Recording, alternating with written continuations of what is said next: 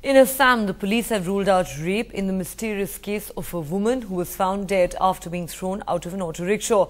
They have arrested one man who has allegedly confessed that he was in a relationship with her. But few are buying this claim and calling for the CBI to step in.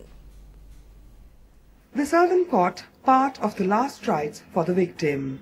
The arrest of a clerk from her daughter's school has brought no relief to the family because the clerk has claimed an illicit relationship with the victim.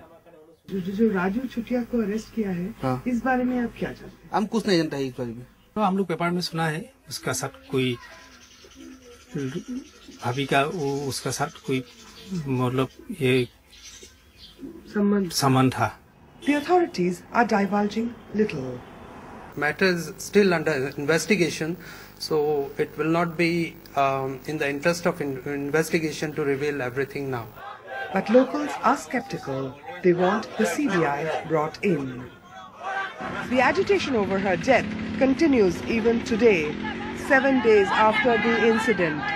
The agitation demanding security for women, agitation demanding a resolution of what happened to her really. Police बोलेगा और हम लोग वही मान लेंगे ये बात तो पॉसिबल नहीं है सीबीआई इंक्वायरी इसमें होना चाहिए at home, the victim's six year old daughter is still drawing flowers in her notebook.